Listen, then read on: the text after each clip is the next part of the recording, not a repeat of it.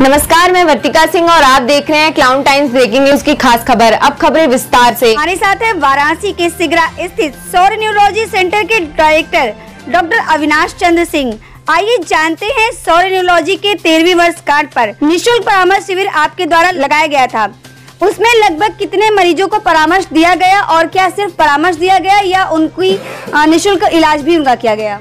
जी हम लोग ने हमेशा पिछले तेरह वर्षों से सालगिरह के अवसर पे हमेशा निशुल्क परामर्श शिविर रखते हैं, जिसका लोगों को इंतज़ार भी रहता है। इसमें हम लोग ना तो निशुल्क परामर्श, बल्कि निशुल्क जांचें भी की जाती हैं। जैसे कि इस बार हम लोग ने आई के लिए स्पेशल कैमरा मंगाया था, जिसमें फंडस का एग्जामिनेशन हो रहा था, जो कि निशुल्क किया जा रहा था।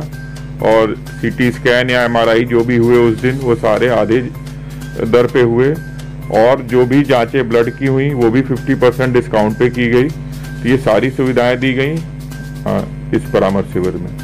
नहीं हाँ कुछ दवाएँ दी गई लेकिन जैसा कि आप लोग विदित है कि न्यूरोलॉजी के मरीज़ में कई दवाएँ होती है जो लंबे समय की से चलती हैं।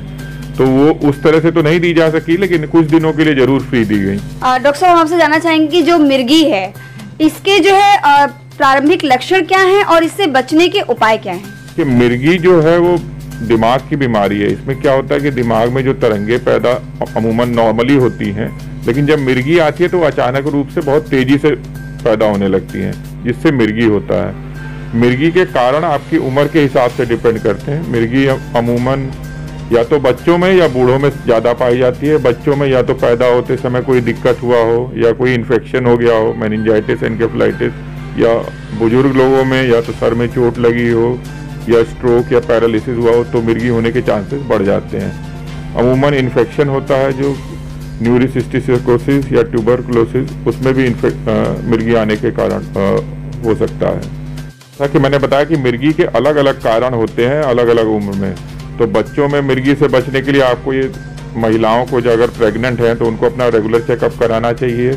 और पैदा जब जहाँ डिलीवरी हो वो अच्छी जगह हो ताकि अगर बच्चे में कोई परेशानी होती है डिलीवरी के दौरान तो उसको तुरंत ट्रीट किया जा सके। उसी तरह से आपको इन्फेक्शन से बचना चाहिए रेगुलर बच्चों को टीके लेने चाहिए ताकि कोई इन्फेक्शन ना हो पाए, जो ब्रेन में जा पाए।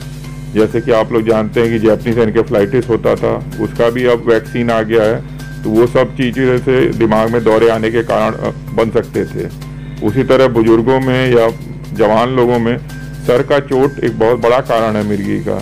तो आप जब भी अगर टू व्हीलर चला रहे हैं तो आपको बेहतर है कि आप अपने सिर का बचाव रखें हेलमेट पहने। इससे आप सिर चोट के चोट से भी और उसके होने के बाद की परेशानियाँ, जैसे कि मिर्गी, उन सबसे बच सकते हैं। बुज़ुर्ग लोगों में स्ट्रोक से भी दिक्कत हो सकती है, दौरे आ सकते हैं।